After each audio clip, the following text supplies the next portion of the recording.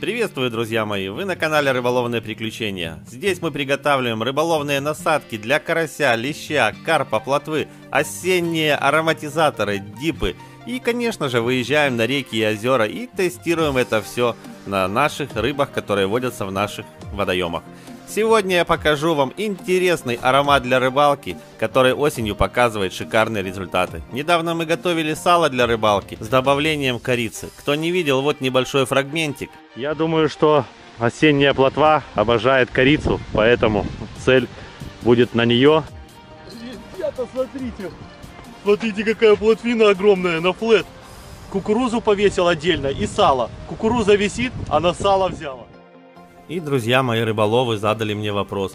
А может эта прикормка приманила рыбу и насадка была уже не так важна? Попробую добавить корицу в прикормку и посмотрим, соберет ли она рыбу на точке или нет. Ну что ж, друзья мои, давайте приготовим прикормку с ароматом корицы и выйдем на осеннюю рыбалку, потестируем ее по холодной воде. Магазинная прикормка самая дешевая, обычная рыболовная база без каких-либо ароматов. 20 грамм перемолотой корицы, начинаем тест. Ну, запах корицы такой обалденный. Поклевки тут же пошли. Значит, рыба очень ее обожает.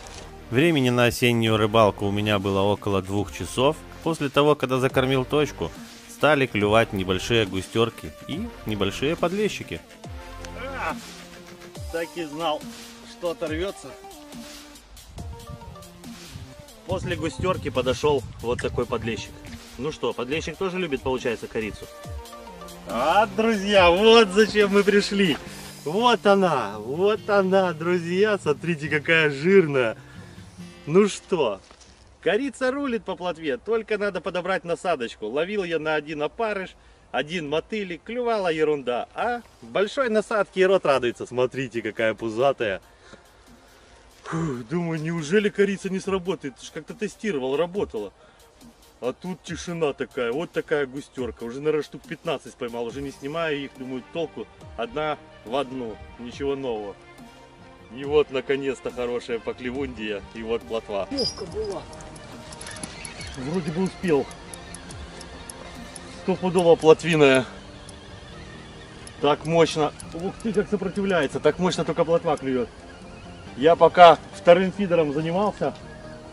Думаю, дай пока там поменяю опарыша, то да все, смотрю, то да да колокольчики. Ё-моё, пока за камерой сюда в одном прыжке все сделал.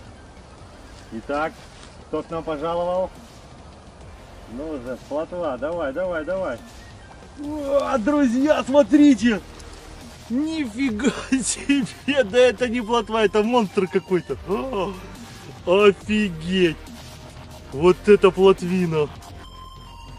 Я, если честно, в этом году еще таких не ловил. Вот это круто.